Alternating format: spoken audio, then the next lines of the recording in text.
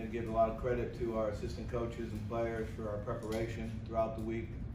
And we came out and competed extremely hard, uh, got the lead. We knew they were going to make a run coming back at us.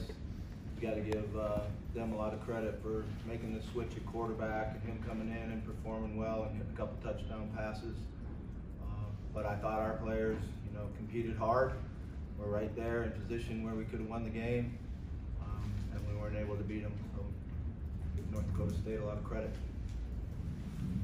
How did that quarterback change affect what you guys are doing? Well, what they did is make plays out of it. You know, uh. I, I thought we did a good job against the quarterback runs when he came in and did that. Uh, but then he hit the two big passes, and you know that that became the difference in the game.